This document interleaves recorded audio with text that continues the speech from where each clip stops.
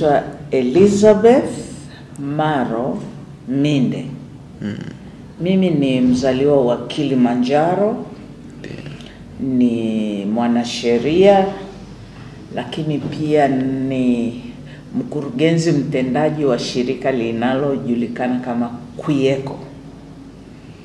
Um, siku za nyuma tulikuwa tunaongea tu informally na Bwana Adam akawa impressed na background yangu, you know how I ended up being what I am. Mm. Uh, nikamwambia mimi nimezaliwa kijijini, kijiji kinaitwa Kikarara, iko Old Moshi, Moshi vijijini, na nimesoma Moshi vijijini um, mpaka nikamaliza shule ya msingi. Msingi zamani ilikuwa inaenda mpaka darasa la nne. Baada ya hapo nikaenda shule ya Majengo hapa primary school, iko kidogo in an urban area, lakini nikasoma miaka miwili nikahamishiwa a boarding school kwa sababu ilikuwa mbali sana na nyumbani. Kwa hiyo nikahamishiwa boarding school ambayo ni inaitwa iliitwa zamani Old Moshi Girls Upper Primary School. Baada ya hapo nilikwenda nilichaguliwa kwenda Machame Girls Secondary School ambako nilisoma form 1 mpaka form 4. Nikachaguliwa tena kuenda form 5 ambako ilikuwa Kilimanjaro, kulikuwa hamna form 5 ya wasichana, kwa hiyo nilipelekwa Dar es Salaam Jangwani Secondary School ambako nilimaliza form 5 na form 6 na hatimaye baada ya kwenda jeshini kama kawaida kwa mujibu wa sheria, nilikwenda chuo kikuu nikasomea sheria. Nilivyomaliza sheria digrii ya kwanza, nikapangiwa kazi chuo cha ushirika Moshi kufundisha. Kwa hiyo nimefundisha pale miaka mingi. Uh, hatimaye ndio nikajoin uh, other organizations alafu ndo nikaishia ku, kuwa katika NGO sector.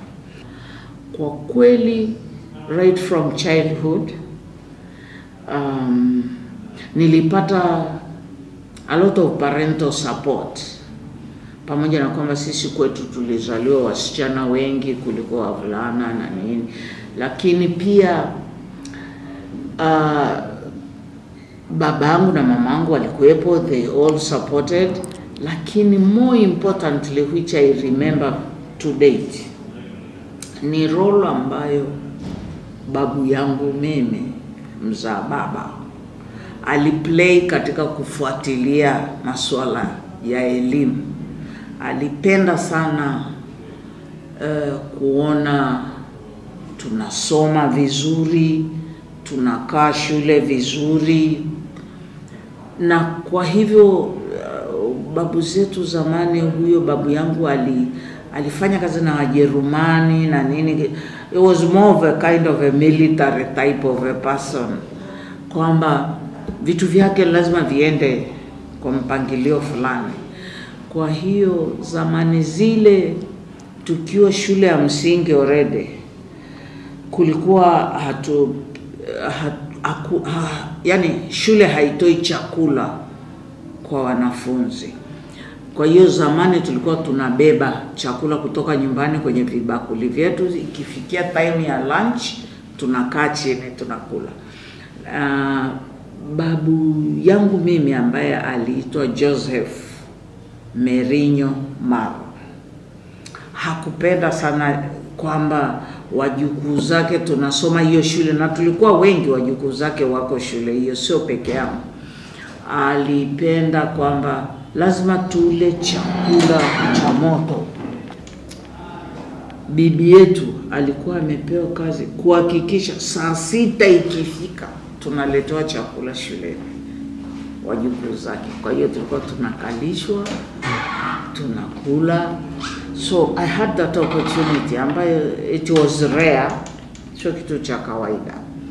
Lakini as if that was not enough, alikuwa ni mfuatiliaji sana kujua mnafanyaje huko shule, maendeleo yakoje.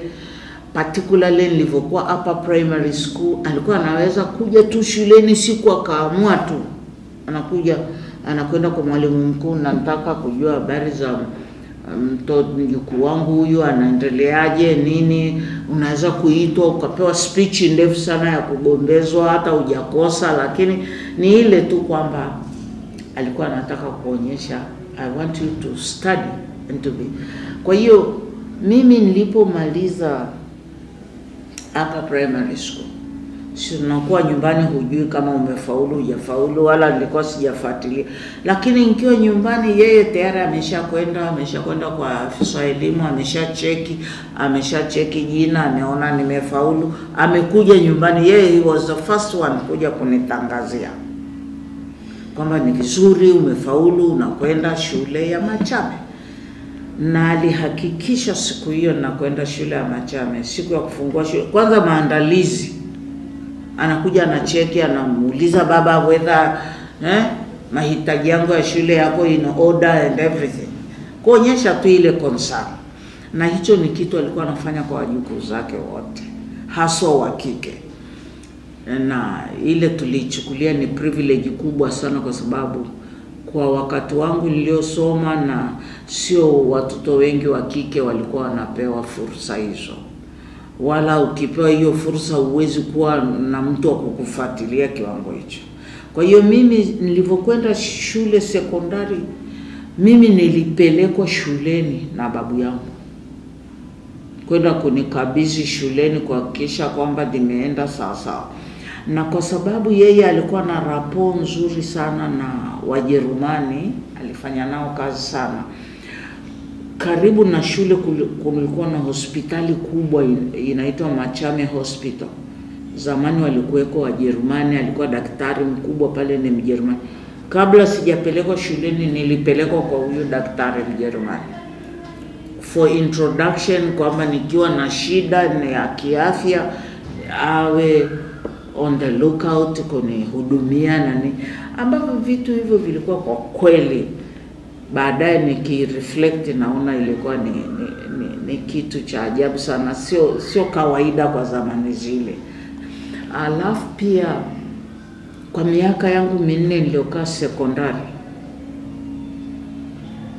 kwa mwezi lazima aje shuleni kucheki kwamba tunaendelea vipi. Ilikuwa mimi na mwenzangu mwingine anaitwa Stella, mjukuu wake mwingine, yeye alikuwa nyuma yangu, hivyo lazima aje afuatilie, ajue tunasoma tuko sawasawa nini, na wazazi wetu walilazimishwa lazima mje. Kwa nini mnaacha watoto amwafuatilie? Najua zamani tu ukishaenda shule ya kulala si headache ya walimu, lakini babu yangu hakuachia. Kwa hiyo mimi ninasema ali alinijengea kitu ambacho kilikuwa sio cha kawaida na kunipa challenge, na ile ilinijenga you know, leadership role niliipokea kutoka kwake. I was a school leader in Machame Girls. I was a head girl of the school, na as a head girl pia unapokea wageni nini, na babu yangu alikuwa mmojawapo wa wageni walikuwa wanakuja shuleni. Alikuwa yeye ni president wa Historical Association ya Kilimanjaro. Kwa hiyo akija, mimi ndo nampokea na muintroduce, nikiwaambia watu huyo ni babu yangu, watu wanaona kama vile utane, lakini ndo ilikuwa hivyo, na ile ile ile confidence aliyokuwa amenijengea. nilipoenda form 5 pia again I became a, a school head, na yote hii ni kwa sababu mi nafikiri pia ukifanya close follow up ya mtoto inamjengea ujasiri fulani ambao ndio mi uliniweka nikamaliza. I had a straight schooling, I didn't break my education from primary, lakini nachotaka kusema ni kwamba tu tujifunze tabia. Hata ungekuwa unalala chini ya mti, ukilala na mtoto wako hapo akaamka asubuhi, atakuheshimu zaidi, atajua hukumkimbia. Hii mambo ya kupeleka watoto sijui kwa ndugu kwa nani huko, hujui anaishije, ana, anaendaje shule, ana mazingira gani, ni kitu kigumu sana kwa kusema kweli, ni kigumu. Kwa hiyo la kwanza mimi nasema tuhakikishe tuna tunakuwa walinzi na tujifunze kuwa karibu na wale watoto, tuwe tunaongea nao. Watoto wana, wana changamoto nyingi sana, tumegundua hivyo, lakini pia sisi ambao tuko kwenye kwenye mashirika yasiyo ya kiserikali tuwe na ratiba za kutembelea mashule na kuongea na watoto na wale walimu pia. Eh, watatusaidia kujenga jamii yenye nguvu, yenye kujiamini. Manake kujiamini kunatokana na jamii nao kuzunguka inakuamini wewe. Naona eh? Mimi ninaamini kwamba mimi ninajiamini kwa sababu mimi nilijengewa uwezo huo nikiwa mtoto, kuchukua leadership role. Hata kama kanisani unaambiwa lazima uwe e, mzee wa kanisa, kule shuleni unachukua nafasi, unaanza kujiandaa for future. Sasa hivi maanake huwezi kusoma tangu asubuhi mpaka jioni, unategemea usome na hujala. Kwa kweli mi ni kitu ambacho siku experience during my time. And I feel very bad about it, na singependa mtoto wangu apitie hilo zoezi. Naona mm. na ni kwa sababu hiyo pia mi I work closely with communities, na ndio tunataka kuwajengea economic empowerment wa mama, wasifike mahali washindwe kumpa ku, shule zingine wanakuambia lete uh, kindoo kile kidogo cha mahindi au marage or something. You contribute something.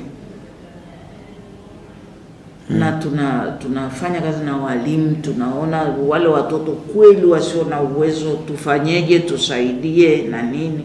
Na hata sasa hivi tumeanza eh,